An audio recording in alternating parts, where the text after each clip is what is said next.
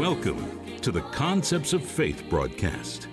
This program is dedicated to teaching you how to put the Word of God to work so that it will make a positive difference in the everyday circumstances of your life.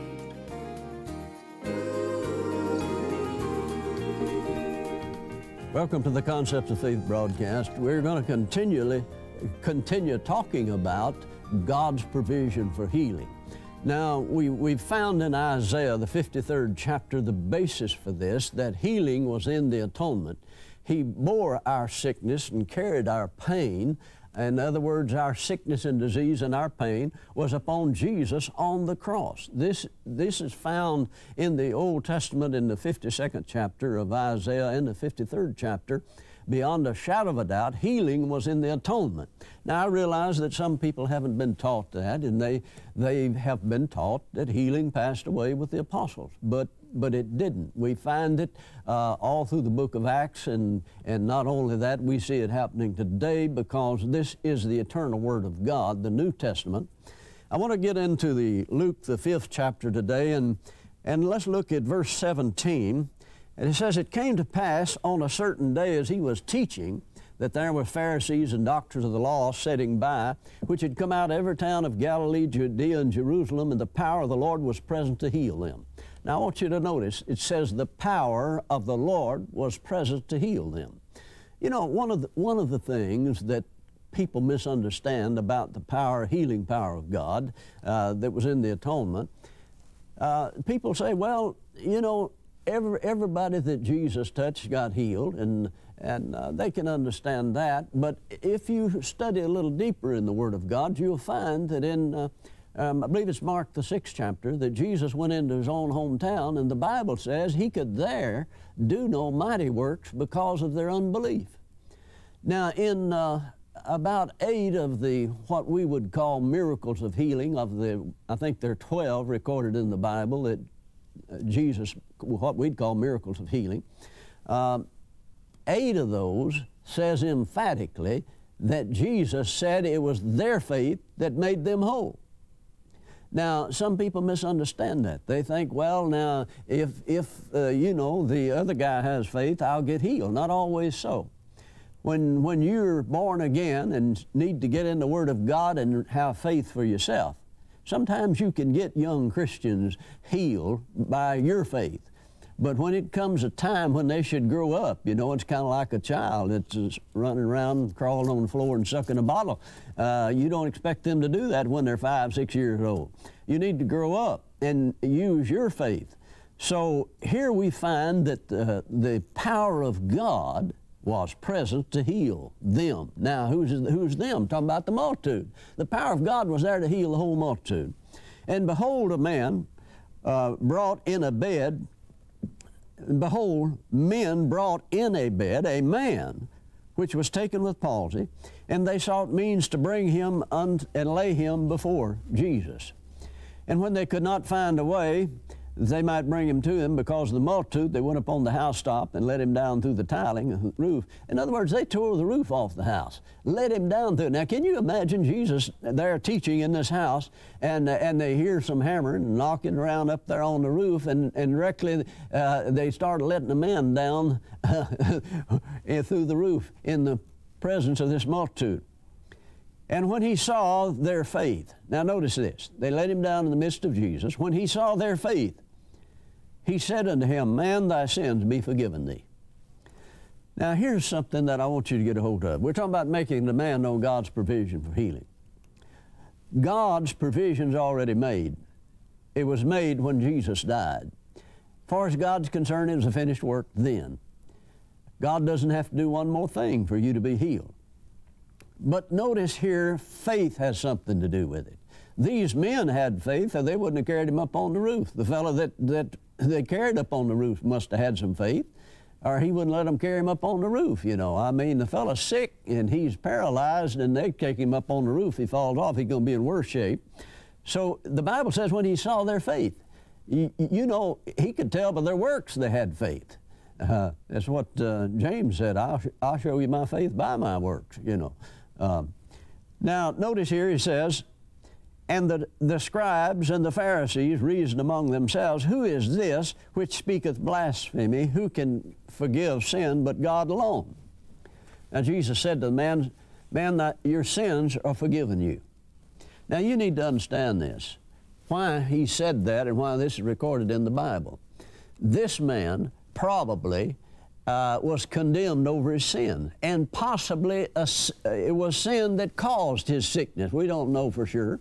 But we know that sin is the root cause of all sickness. In other words, there was no, there was no sickness until sin came on earth. Now, it doesn't mean that a certain sickness is because of a certain sin, not necessarily. You know, there's viruses and all kinds of things that are, uh, you can get through the air and so on that causes problems. But notice, he said, Man, your sins be forgiven you. In other words, let me take a scripture that John talked about in, in John's uh, first, first John, I believe it is. John said, If our hearts condemn us not, then have we confidence in him, and whatsoever we ask of him, we receive of him, because we keep his commandments and do those things that are pleasing in his sight. Now, this man, if he's condemned over his sin, the first thing Jesus said to him, Man, your sins are forgiven you. In other words, the sin is not your problem right now. He said, What you need to do is, is believe and release your faith. Now, what he's doing is removing the question mark. See, faith always stops at the question mark. If you're not fully persuaded of the Word of God concerning healing or finances or whatever, then you're probably not going to enter into it because faith always stops at the question mark. Now, the scribes, they, they said, who, who can forgive sin but God alone? When Jesus perceived their thoughts, he answered and said to them, uh, why, What reason you in your heart? Whether it easier to say, Thy sins be forgiven thee, or rise up and walk. But that you may know that the Son of Man hath power upon earth to forgive sins, he said to the sick of the palsy, I say unto you, Arise, take up thy couch, and go into thy house. And immediately he arose up before him and took up that whereon he lay and departed into his own house, glorifying God. And they were amazed and they glorified God and were filled with fear, saying, We have seen strange things today. Well, what you see here is Jesus removed the question mark from this man's mind. God is saying to us through the Scriptures that provision has already been made. And uh, faith makes a demand on the provision. Now, it states here that when he saw their faith. Now, you'll notice in every place in the Scriptures where faith was found, healing was the result when there was sickness involved. You, you go to the fifth chapter of Mark and you find that the woman with the issue of blood, and in fact, to give you the context of it, Jairus, the ruler of the synagogue, he had come to Jesus and said, uh, My little daughter is at the point of death. And uh, but if you come lay your hands on her, she'll be healed and she shall live. Now, notice this statement that he made. He said, If you lay your hands on my little daughter, she'll be healed and she'll live. Now, he had great faith that if Jesus lays his hands on his daughter, his daughter will live. And he spoke his faith. As we believe, we therefore speak, the scripture says. So you always speak your faith. So he spoke it. Now, Jesus just left the whole multitude and started walking with this one fellow going to his house.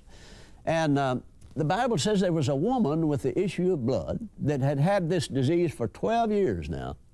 And uh, she, she heard about Jesus. Well, what did she hear about Jesus? Evidently, she heard that people that touched Jesus got healed and that uh, the, the anointing of God was upon him because Peter says, you know, that how God anointed Jesus of Nazareth with the Holy Ghost and power and went about doing good and healing all that were oppressed of the devil. Now notice it states that he healed those that were oppressed of the devil. In other words, sickness and disease, Peter said, was an oppression of the devil.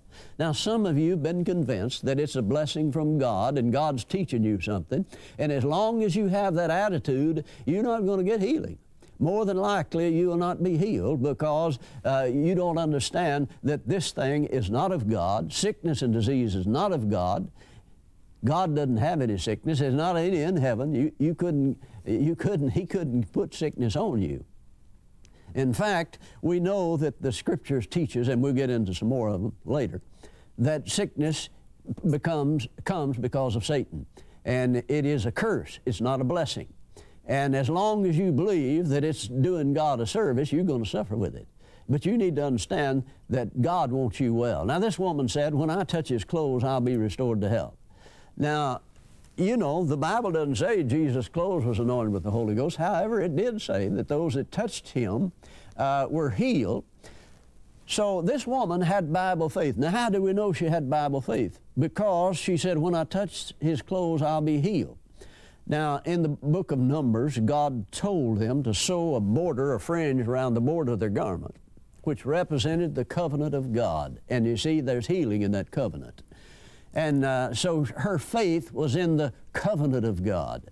And she's making a demand on the provision. That, that healing is in the covenant. And she's making a demand on that provision. So she started saying, the first thing she started saying is, When I touch his clothes, I'll be restored to health. The Bible says she, uh, Amplified says she continually said that on the way down there. Now she elbowed her way through that crowd and come up on Jesus. And when she did, there's Jairus, the ruler of the synagogue, the man that can have her stoned to death, legally can have her stoned to death for being out in public in her condition. It was a capital offense to be in, her, in public in her condition. But she said, I'll slip up behind Jesus, get my healing, and no one will ever know. Well, she slipped up and touched the border of his garment. She, that was her point of contact to release my faith when I touched the border of his garment. I've touched the covenant of God, and I believe the anointing of God will bring healing to me. And Jesus felt power go out of him. When he touched her, uh, the Bible says that uh, he said, Somebody touched me. And he looked around to see who it was and said, Who touched me? And the, the multitude had touched him. I mean, throng there. They said, uh, There's a multitude here. Well, but there's only one woman there that got her healing because she made a demand on God's provision. That provision was in the covenant. And she released her faith in the anointing of God at a point of contact of touching the border of Jesus' garment remove the question mark with her words. When I touch his clothes, I'll be restored to health. She set a time when she was going to release her faith. You need to do that. Some of you have been saying, God's going to heal me sometime. Set a time that you release your faith for healing, and you'll get the results that this woman got.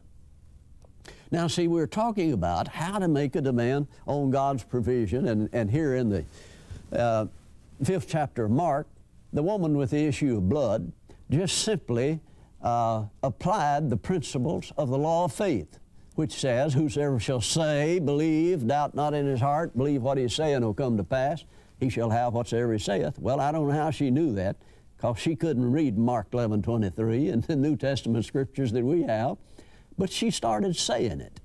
And, and you know, some people say, well, you know, I've had this for 40 years. I guess it'll be the death of me yet uh, don't, don't speak those words. Begin to say what God said about you and uh, bring healing. Now, in the Mark, the fifth chapter, when the woman woman's issue of blood was healed, she touched the hem of Jesus' garment.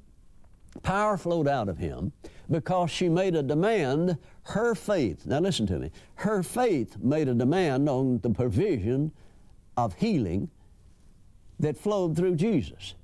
Now, somebody said, well, yeah, but you see, Jesus healed her. But, but really, he didn't. No, he really didn't. Because the Bible said Jesus turned around and said to the woman, said, Daughter, thy faith has made thee whole. And I'm, I want to tell you, if you get a hold of the Word of God, your faith can make you whole.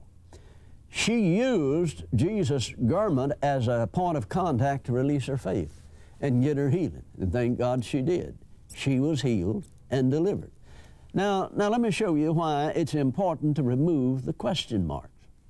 If you go to the Mark, the first chapter, and I think we may have said something about this before, but it, it bears repeating because this is important. It's an important uh, point to understand in releasing your faith.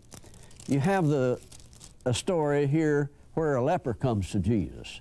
In verse 39, and it's talking about Jesus, said he preached in their synagogues throughout all Galilee and he cast out devils or demons. And there came a leper to him, beseeching him, saying, kneeling down to him, and saying unto him, If thou wilt. Now notice the man's question. He said, If you will, thou canst make me clean. Now, he, he knew that Jesus could. That's the reason he came to Jesus. But he did, he was not sure that he would. Now, you see, some of you have thought, well, you know, it may not be God's will to heal me. I mean, get into the Word of God. It was paid for in the atonement. God's not sitting up there and deciding who He's going to, you know, give healing to. It's available to all under the covenant. Uh, read Isaiah, the 53rd chapter, the first, uh, about the first 10 verses. He bore our sickness. He carried our pain. Talking about Jesus. So it was all finished at Calvary. He doesn't have to do anything. See, a lot of times we're praying for God to do something He's already done when we just need to line up with the Scriptures, get the Word of God in our mouth, set a point of contact to release our faith.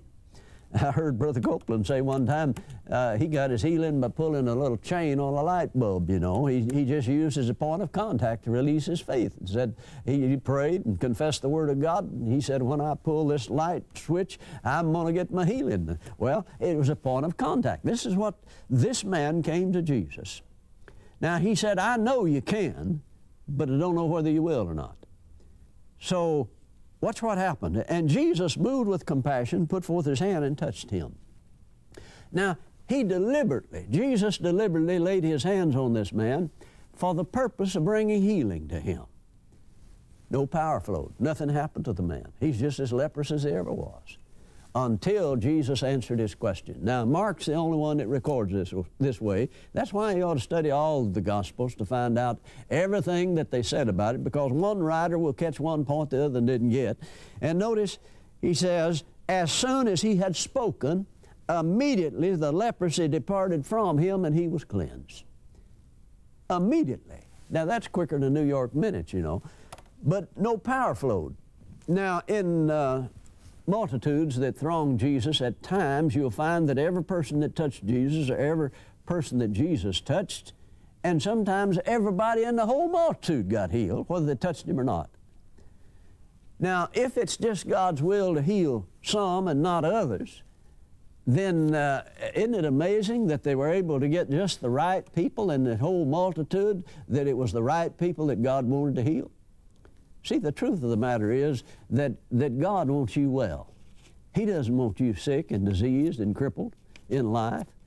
And uh, healing is available uh, through the covenant of God. Uh, confess the Word of God. Build your faith. Uh, Jesus said, the woman with issue blood said, Daughter, thy faith has made thee whole. Well, you see, she had great hope. She was elbowing her way through that crowd because she hoped to be healed, because she'd heard about Jesus. And you may have heard about healing. You may hope to be healed. But you see, she said, when I touch his clothes, I'll be restored to health. Now, don't misunderstand me. I'm not telling you that you're going to set an exact time to receive, that you're going to get the manifestation of your healing. I'm talking about setting an exact time that you believe you receive. See, Mark 11, 23 and 24 gives us the principle of the law of faith.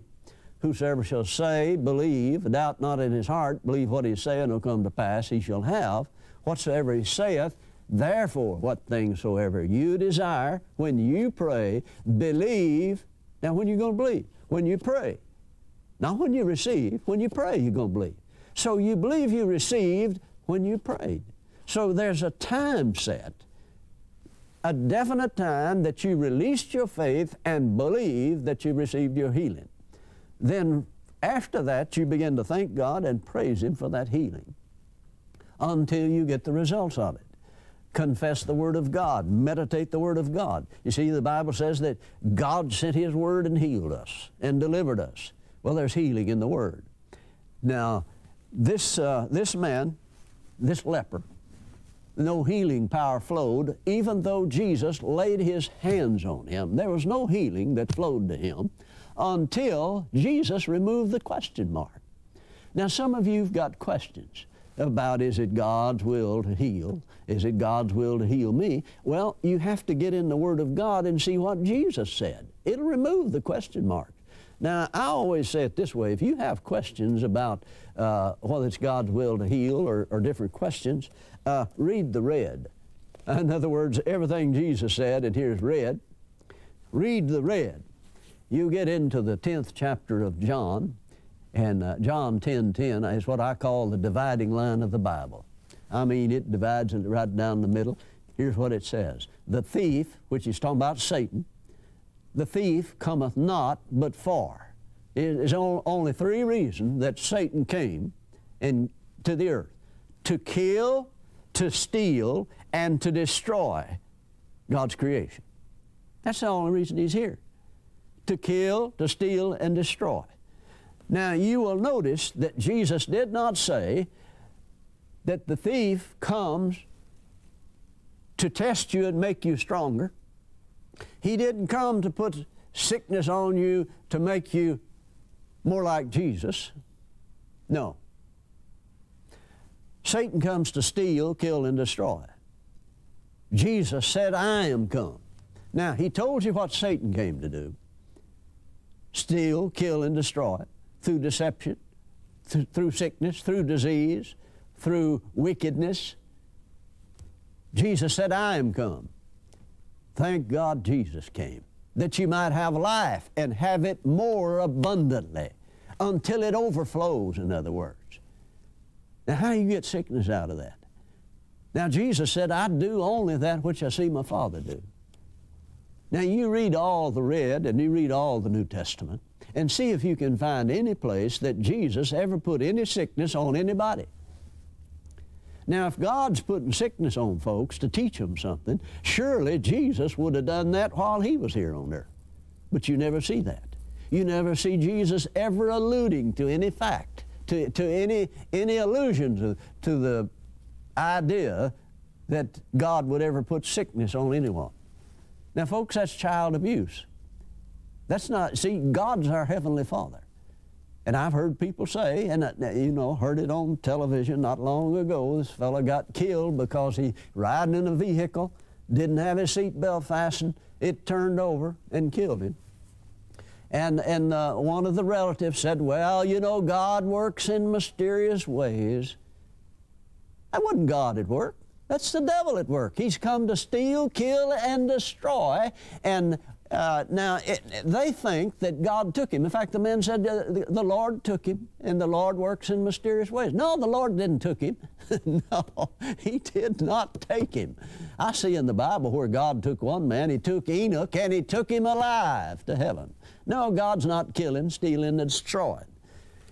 But uh, isn't it amazing that if the man would have had his seatbelt fastened, God wouldn't have worked in that mysterious way the guy thought he did? No. The man's life would have been saved. He had his seatbelt fastened. So if it's God's will for these people to die and, and God's just picking out who's going to die today, isn't it amazing that He leaves off the people that have their seatbelt fastened, uh, most of them?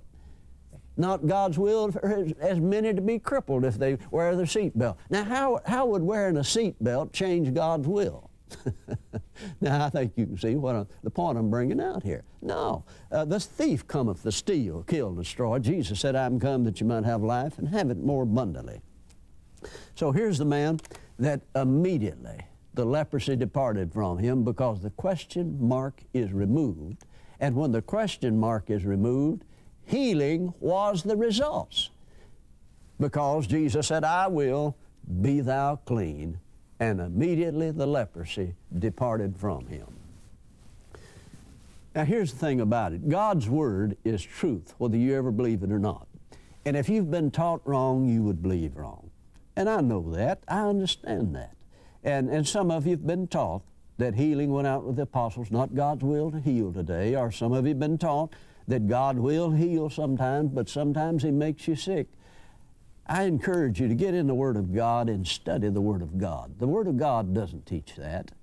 That is Greek mythology, uh, where they, they thought that there's 100 million gods or 300 million gods and they're just making everything happen on the earth. No, you see, things are happening on this earth because men allow it to happen.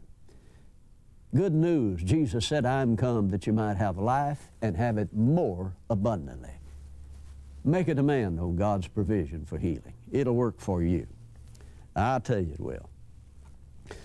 Now I want to uh, make again the offer. I, I want to offer this offer called Offer 2124.